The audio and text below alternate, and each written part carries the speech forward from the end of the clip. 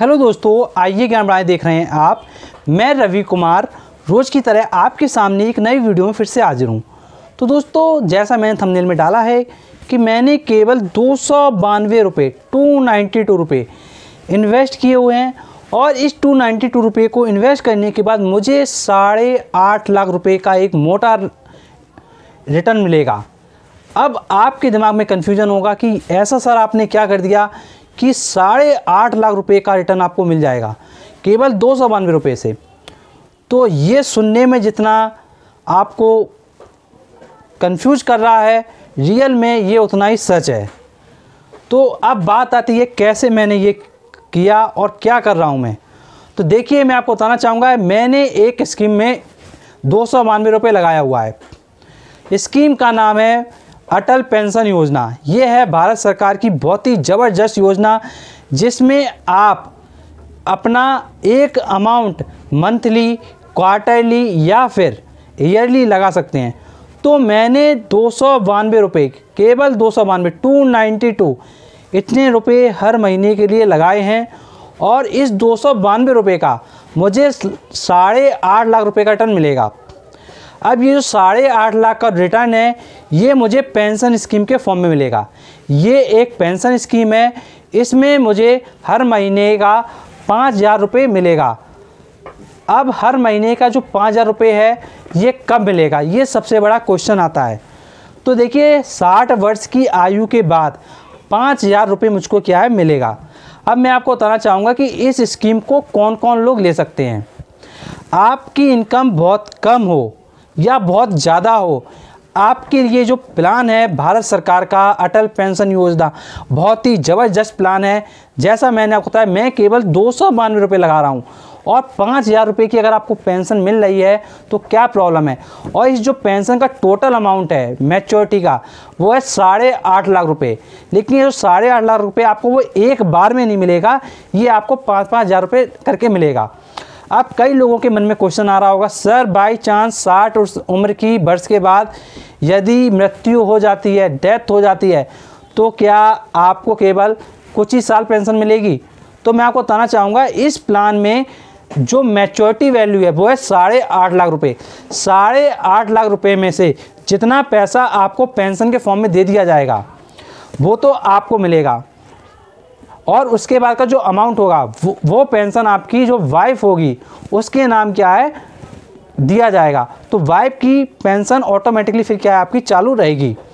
अगर मान लीजिए वाइफ भी आपकी कुछ सालों के बाद मर जाती है तो उस केस में जो आपका अमाउंट बचेगा जितना भी बचेगा साढ़े आठ लाख रुपए में से वो अमाउंट नॉमिनी को दे दिया जाएगा।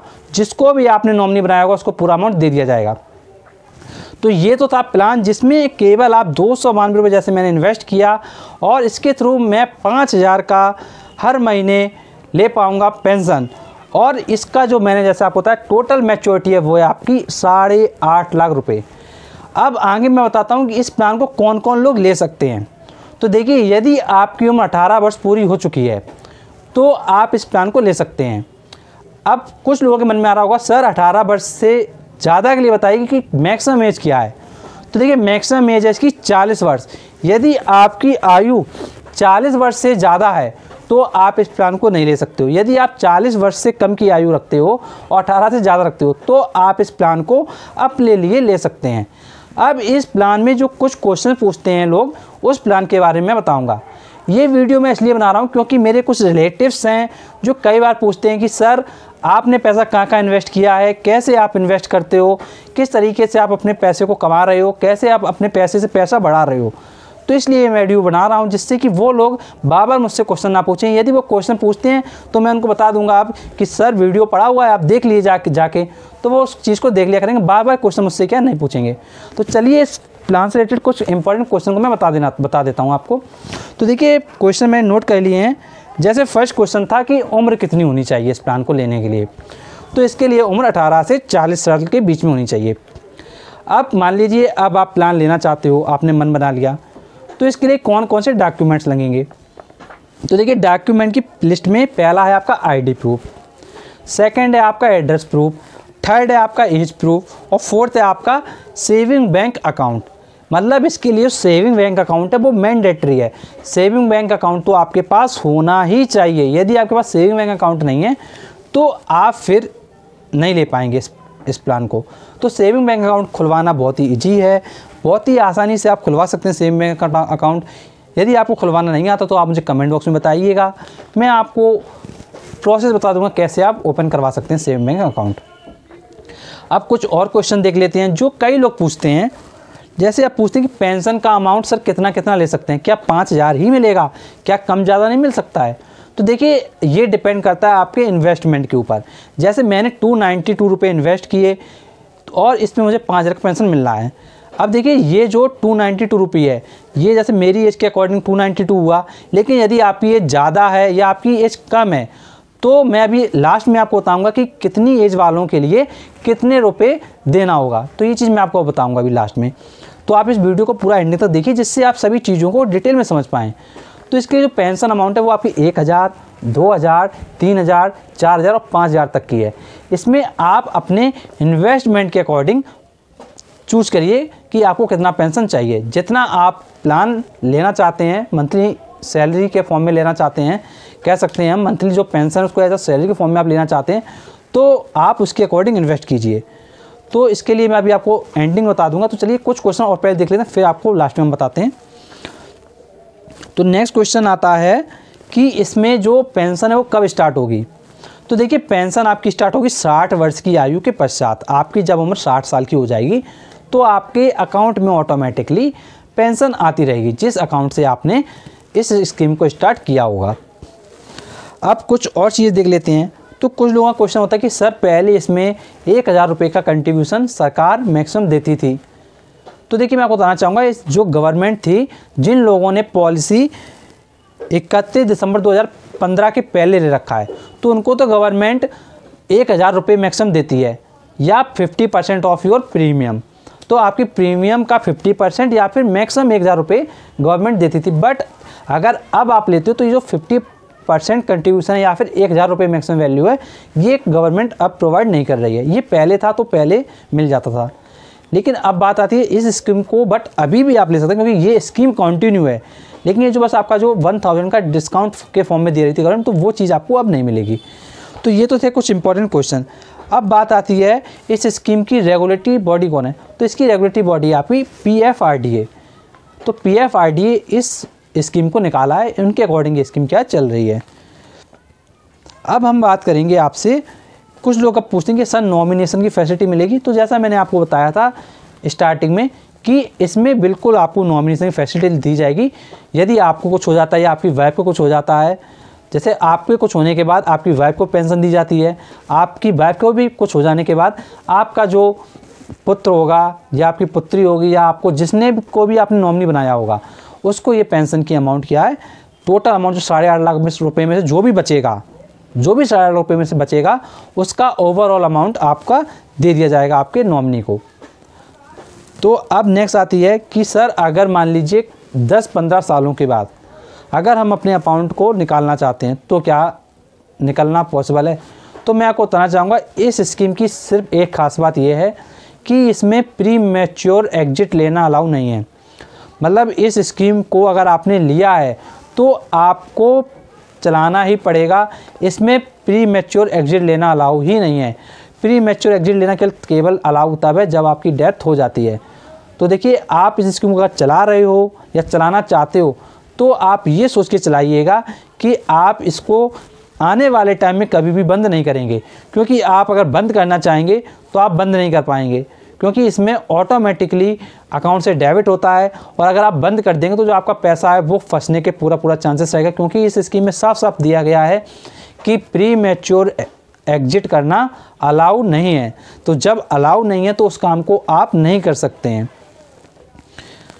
अब नेक्स्ट बात मैंने आपको लास्ट में कहा था कि मैं आपको लास्ट में बताऊँगा कि किस एज वालों के लिए लगभग कितनी प्रीमियम आपको देना होगा। तो देखिए, मैं आपको मंथली के बेसिस से बता रहा हूँ। देखिए, यदि आपकी उम्र अठारह साल है, अगर आपकी उम्र अठारह साल है तो आपको केवल फोर्टी टू रुपये देना होगा एक हज़ार रुपये की पेंशन स्टार्ट करने के लिए। और इसकी जो मैच्योरिटी वैल्यू होगी, वो होगी वन पॉइंट सेवन लाख रुपये तो देखिए, आप बताइए कि आप 18 साल के नहीं हो? क्या आप मात्र बयालीस रुपये इन्वेस्ट नहीं कर सकते हो? आप खुद सोच के देखिए, बयालीस रुपये महीना क्या इससे सस्ता और गवर्नमेंट आपके लिए कौन सा प्लान लेके आएगी? सोच के देखिए। तो अगर आपकी उम्र अठारह साल है तो आप बयालीस रुपये देकर एक हज़ार रुपये की पेंशन क्या स्टार्ट कर सकते हैं। और इसका जो मैच्योरिटी जो मैंने आपको बताया, वो था वन पॉइंट सेवन लाख रुपये अब मान लीजिए आपकी एज है चालीस साल। मान लीजिए आपकी उम्र अठारह साल नहीं है। अगर आपकी चालीस साल एज है और आप इस प्लान को एक्टिवेट करते हैं एक हज़ार रुपये की पेंशन के लिए तो आपको केवल टू नाइन्टी वन दो सौ इक्यानवे रुपये जमा करना होगा और इसकी भी जो मेच्योरिटी वैल्यू होगी, वो होगी वन पॉइंट सेवन लाख रुपये अब मान लीजिए कुछ लोग कह रहे होंगे, सर, हमको एक हज़ार की जगह दो हज़ार रुपये की पेंशन चाहिए आने वाले समय में, क्योंकि आने वाले समय में जब साठ साल की उम्र आपकी हो जाएगी तो उस समय पैसे की वैल्यू क्या ऑटोमेटिक सी बात है कि थोड़ा रिड्यूस हो जाती है। तो दो हज़ार रुपये की पेंशन चाहिए तो फिर क्या क्या करें? तो देखिए, अगर आपकी उम्र अठारह साल है और आप दो हज़ार रुपये की पेंशन लेना चाहते हैं तो आपको केवल एट्टी फोर रुपये हर महीने देना होगा।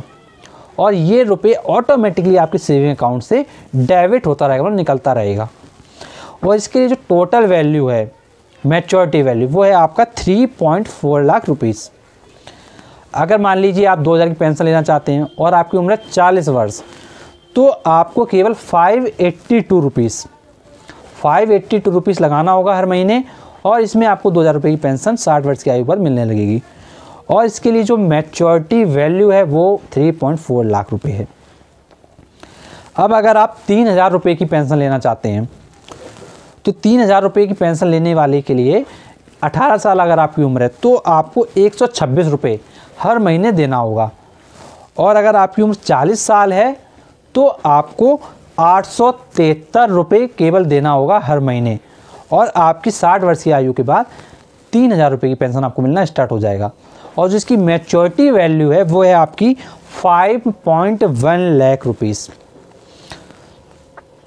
यदि आप चार हज़ार रुपये की पेंशन लेना चाहते हैं तो चार हज़ार रुपये की पेंशन के लिए मैं आपको बताना चाहूँगा, अगर आपकी उम्र अठारह साल है तो आपको वन सिक्सटी एट एक सौ अड़सठ रुपये देना होगा। और अगर आपकी उम्र चालीस साल है तो आपको केवल ग्यारह सौ चौंसठ रुपये देना होगा।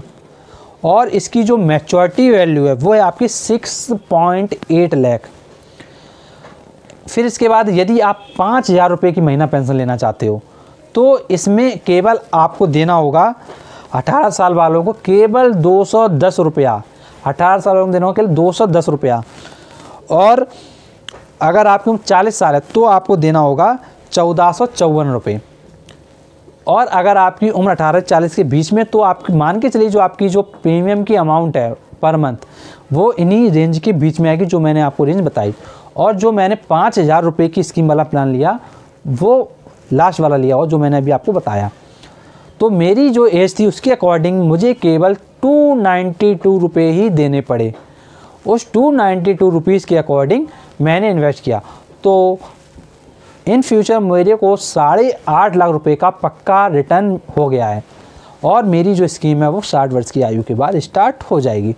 तो ये एक बहुत ही अच्छी प्लानिंग है फ्यूचर की, क्योंकि देखिए, कमाते तो सब हैं। अब कमाने के बाद अगर आप अपने पैसे को सही तरीके से बढ़ा नहीं पाते हो तो फिर आपका पैसा आपके फ्यूचर में कैसे काम आएगा? अगर आप देखिए पैसे से पैसा नहीं कमा पाते हो तो ये आपकी प्रॉब्लम है। देखिए, इसके लिए हमने कई वीडियोस डाले हुए हैं। आप प्लेलिस्ट में जाइए, देखिए पैसा से पैसा कमाएँ, वाली प्लेलिस्ट। उस प्लेलिस्ट में आपको सारे वीडियो मिल जाएँगे, कैसे पैसे से पैसा कमाएँ। हम आपको डिस्क्रिप्शन बॉक्स में भी प्रोवाइड कर देंगे लिंक, उसमें भी आप देख लीजिएगा पैसे से पैसा कैसे कमाएँ।